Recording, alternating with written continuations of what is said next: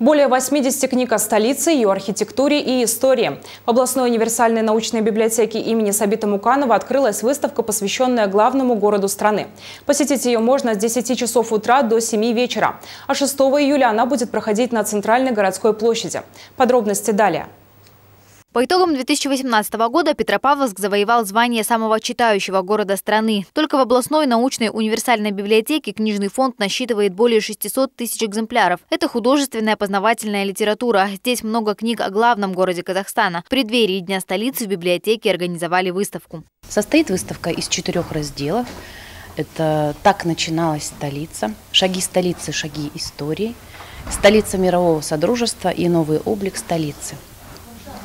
Здесь раскрываются и история нашей столицы, нашей республики. Конечно же, история города сегодня Нур-Султана, а в прошлом Акмолинска, неразрывно связана с историей первого президента Нур-Султана Абишевича Назарбаева. Они представлены в книгах, фотоальбомах и дисках. Кроме того, здесь вы сможете найти литературу о стратегиях и программах Ельбасы, ведь благодаря его политике сейчас наша столица является ярким культурным и промышленным центром, узнаваемым на мировой арене. Например, вот эту энциклопедию о столице библиотеки подарили. Издание, конечно, не самое последнее, не самое новое, но очень информативное.